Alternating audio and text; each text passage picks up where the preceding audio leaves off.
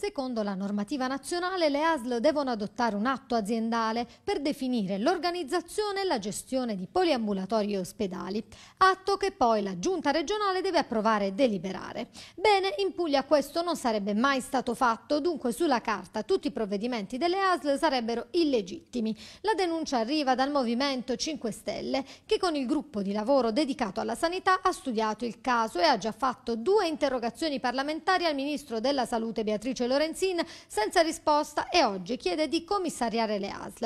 A ribadire l'anomalia sono i candidati del Consiglio regionale e la candidata governatrice Antonella Laricchia. Sulla base di liste d'attesa e dati epidemiologici, spiegano i grillini, le ASL devono adottare il loro atto aziendale per definire così l'organizzazione delle strutture. Chiederemo l'accesso agli atti, annuncia Antonella Laricchia, e la possibilità di verificare che le ASL siano effettivamente in possesso di tutti questi dati. Chiediamo chiediamo una serie di accesso agli atti, con una serie di accesso agli atti alle ASL e alle due aziende ospedalieri eh, pugliesi, di ehm, vedere il loro atto aziendale e i fabbisogni esistenziali e inoltre ehm, chiediamo anche all'assessore Pentassuglia come mai ad oggi non ci risulta che siano stati approvati gli atti aziendali delle, delle aziende ospedaliere.